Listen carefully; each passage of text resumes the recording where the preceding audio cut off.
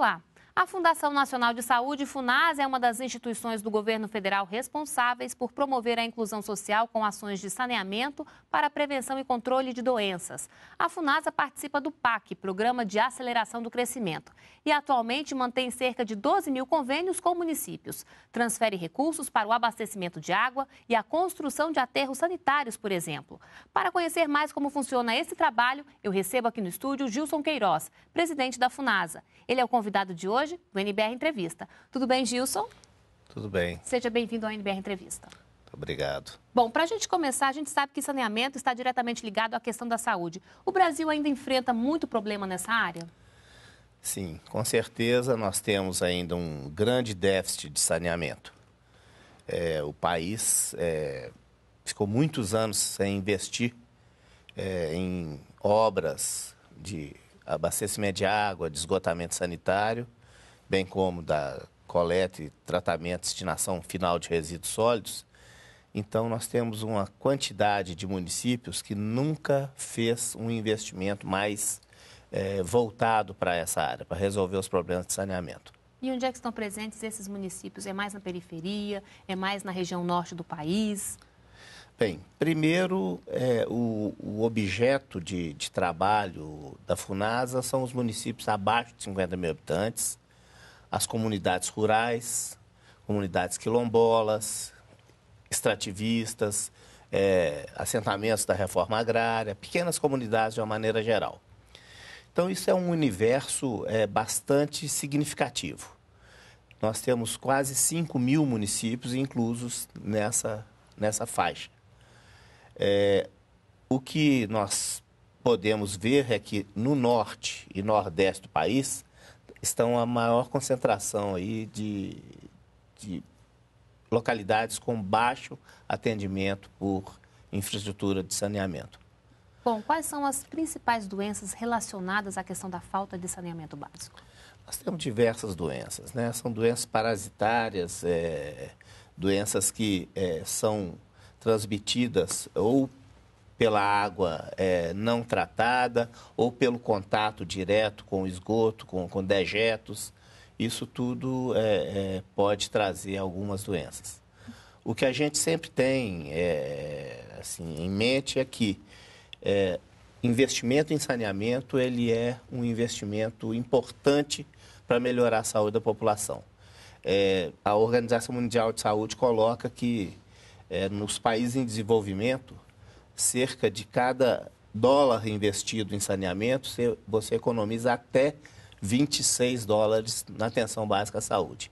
No nosso país, no Brasil, que já temos uma situação um pouco mais avançada é, nessa questão, o nosso ministro Padilha sempre repete que a estimativa do Ministério da Saúde é que de cada um real investido em saneamento, nós economizamos quatro reais na, na, no atendimento à saúde. É a prevenção, né?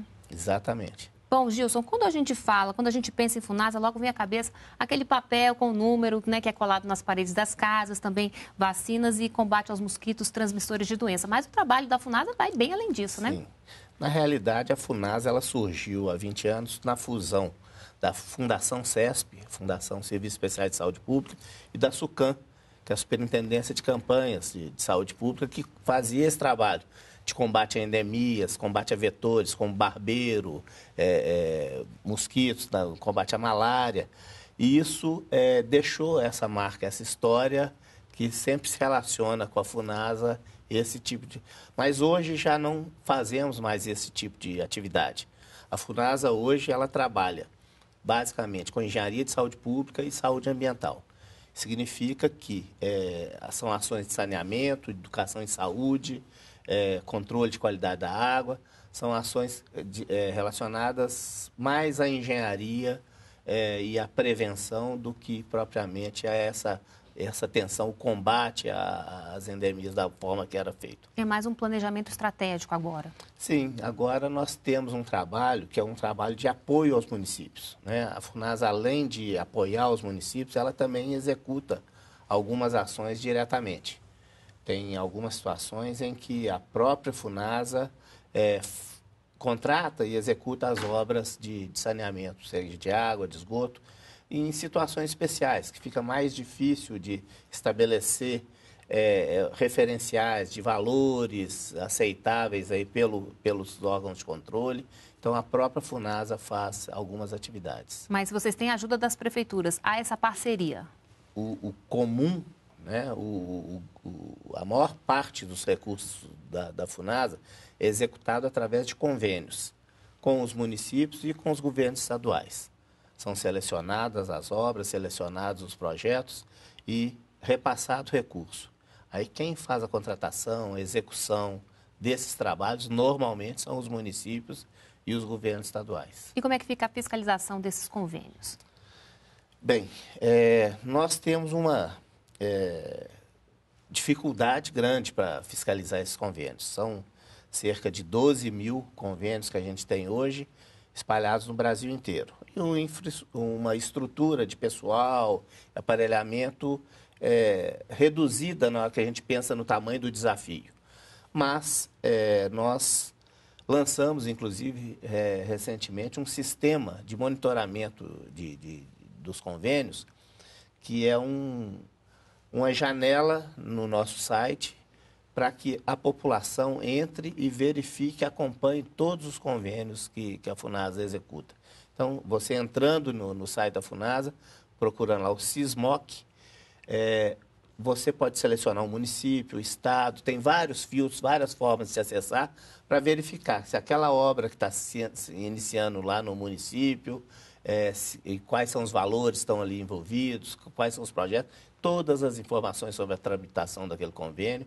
Então, a gente tem, além do nosso trabalho de, de fiscalização com o nosso quadro próprio, nós temos o auxílio da população, dos órgãos de controle, é, através desse sistema de transparência pública. Controle social, realmente, né? Bom, para a gente continuar aqui, vocês também atuam em programas de qualidade de água e em educação, em educação e saúde ambiental. Como é que isso funciona na prática? Bem, é, parece, às vezes, aos olhos de, de, de, um cidadão que já está acostumado com a infraestrutura de saneamento desde que nasceu, parece, às vezes, é, quase que automático a utilização de um banheiro ou a utilização de, de serviços de saneamento. Mas isso não é, é, não é verdade quando você pensa numa comunidade é, onde as pessoas têm 50, 60 anos e nunca viram um vaso sanitário. Então, com o trabalho, por exemplo, de melhorias sanitárias domiciliares, onde a FUNAS instala os módulos, os banheiros nas casas que não têm banheiro, é, precisa também de um acompanhamento, ensinar a utilizar aquele equipamento. Que é uma mudança de hábito, né, de Isso, cultura, exatamente. né? As pessoas não estavam acostumadas, assim né? Assim como é, a utilização da, da, da água é, da cisterna que foi instalada na, na, na naquela casa, para controlar, não ter problema de contaminação daquele reservatório. Então, são várias ações que precisam de ser é, feitas. Então, o pessoal nosso de educação trabalha em conjunto também com as prefeituras, no sentido de orientar a população quando ela recebe um novo equipamento. E como é que a população responde né, a essa novidade, a essa visita da FUNASA? É, tem situações mais diversas. Né? Tem, é, nós temos é, pessoas que ficam extremamente surpresas e, e, e, aceitam com muita, muita boa vontade, muito bom grado os equipamentos. Tem outros que olham até com certa desconfiança. Tem casos que é, é você instala o equipamento e precisa de fazer um trabalho continuado ali até ter o convencimento da pessoa a mudar o hábito que ela trouxe durante toda a vida. Bom, esse então, trabalho da FUNASA tem rendido bons frutos, já tem apresentado resultados positivos. Qual é a avaliação que vocês podem fazer nesse momento? Bem, com certeza é, o, esse trabalho ele é reconhecido é, pelas prefeituras, pela sociedade de uma maneira geral e olhando os indicadores, é, como recentemente foi publicado um indicador importante, que foi a redução da mortalidade infantil no país, com certeza boa parte dele se deve a um trabalho de saneamento, da melhoria de condição sanitária da população, é, da melhoria da qualidade de vida e do esse trabalho que a Funasa também ajuda a desenvolver. Bom, a Funasa não cuida mais das comunidades indígenas, né? Desde quando? É, desde 2010 foi criada uma Secretaria Especial de Saúde Indígena é, ligada diretamente ao ministro da Saúde. Então, hoje, é, a FUNASA não tem mais a responsabilidade de fazer atenção à saúde, como era feito a, até 2010, é, atenção médica, odontológica, e, bem como as ações de saneamento na, na, nas populações, junto às populações indígenas. A secretaria, a CESAI, hoje, ela faz esse trabalho, inclusive a parte de infraestrutura de saneamento. Bom, mas vocês continuam atendendo as populações que vivem em situações, em, em regiões mais remotas, né? Sim, a, a, as populações rurais, é, seja ribeirinhos, extrativistas e, e mesmo quilombolas. assentamentos da reforma agrária, comunidades quilombolas, todos esses nós temos é, é, algumas ações em conjunto com outras é, outros órgãos, outro, como a CEPIR, por exemplo, os quilombolas, junto à CEPIR, que determina o Ministério do Desenvolvimento Social, também coordena o Brasil Sem Miséria, que nós temos o trabalho é, junto ao, ao, Brasil Sem Miséria, é, no Água para Todos, para a população de semiárido receber água ah, e diversas outras atividades. Qual o maior desafio nessa área, na sua avaliação? Bem, é, acredito que é, fazer grandes obras de saneamento é um, um, trabalho que o governo federal faz e que é, é, um desafio do ponto de vista tecnológico, às vezes, e de, de investimento, em volume de investimento.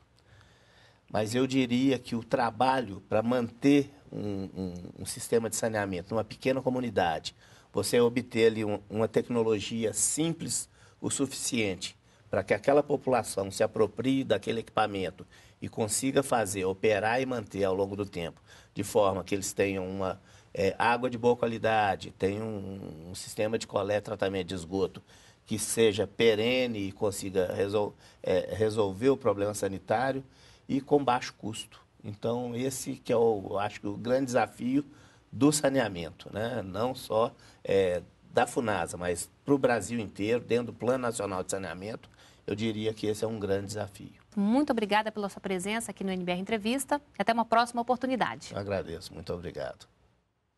Outras informações na página da FUNASA. E para rever essa entrevista, basta entrar no endereço que aparece agora, aí na sua tela. Muito obrigada pela companhia e a gente se vê no próximo programa. Continue aqui com a gente na NBR, a TV do Governo Federal.